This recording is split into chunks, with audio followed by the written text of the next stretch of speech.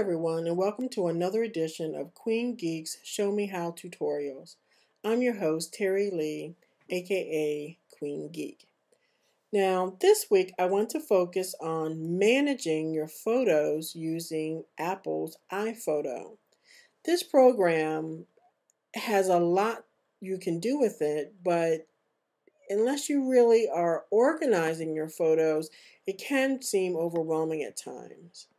So I'm just going to go over a few tips that may help you when you're working with your photos. I'm going to go to the very top, which is events and photos. Photos view is all your photos in your iPhoto library. They may not have a correct title, which means the default is an untitled event. An event meaning it was Labor Day weekend or it was a birthday party. You determine whatever you want to label the event or the occasion. What I've done just for demo purposes, I have imported a few photos purposely that don't have any events labeled on them as well as some of these are actually occurred on around the same time frame. For instance, you may go on vacation and your vacation may be a week. So you may want to incorporate or group all those pictures together. And that would be one event. So I have a couple here. Now notice I'm in my photos group and this one is unlabeled and it gives me the dates that they were taken as well as the one down here that says Kensei. So I actually want to put them all together in one group. And if I look down at the bottom row, there really isn't anything down here that helps me do that. This is more for editing or for projects. But if I go up to my events view, I sort of get a high level view and it gives me dates or untitled name. And if you'll see, this one right now is the selected one, Kensei. But if I hold down my Command or Apple key and select this one and this one, this option now becomes available and I actually want to merge them. Now, because I want to do it a couple of times, I'm just going to highlight this one and highlight this one. And then I'm going to just say merge. And it'll ask me, are you sure you want to move these into one event? Sure. And that's it. And so now if I double click this, I have all my pictures in one event. I can change their order. Actually, can I? Actually, no, I can't. I guess I, it doesn't really matter. They're just all in here by date and time.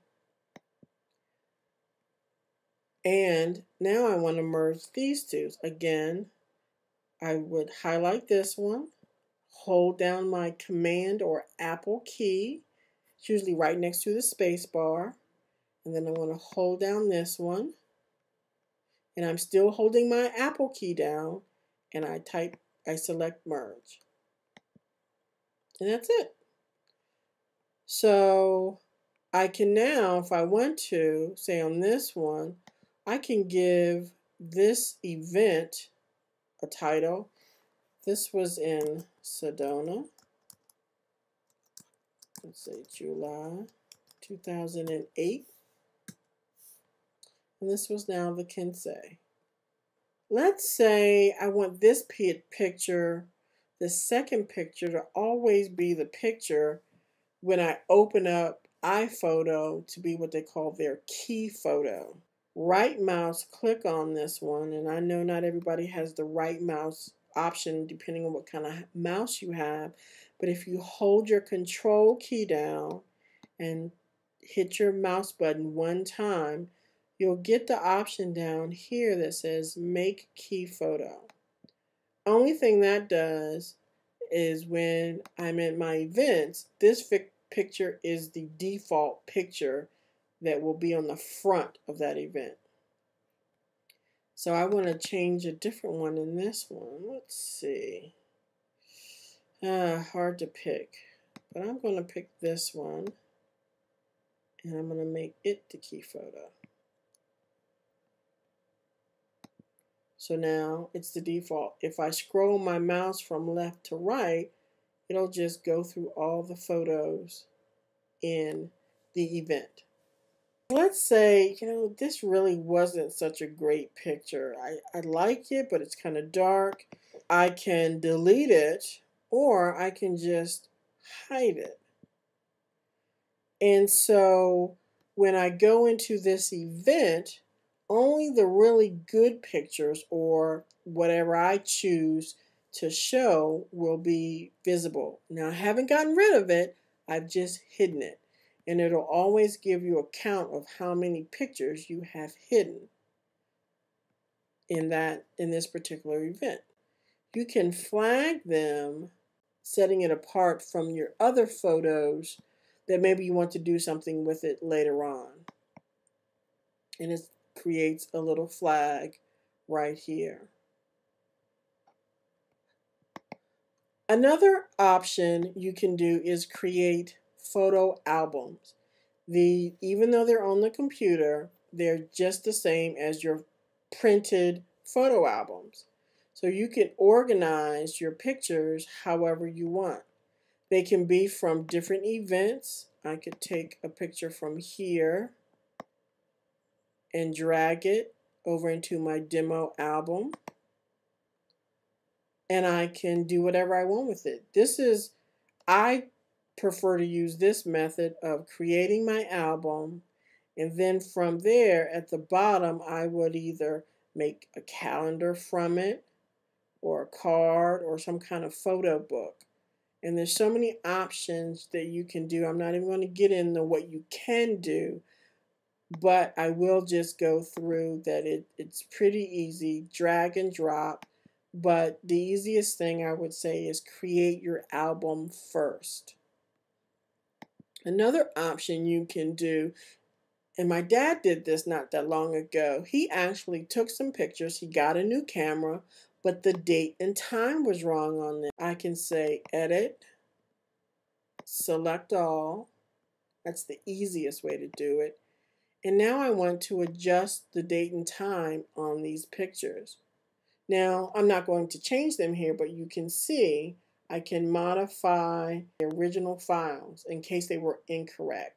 That's a really nice feature because sometimes, or the battery could have gone bad in the camera and the date just never got reset properly.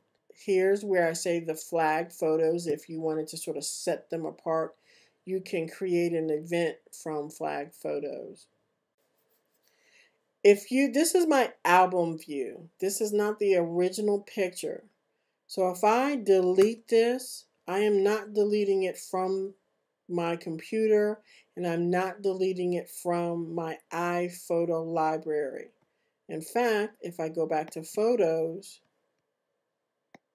and scroll up it's still here what I did is I just deleted it from my album the same as if you just took a picture out of an album.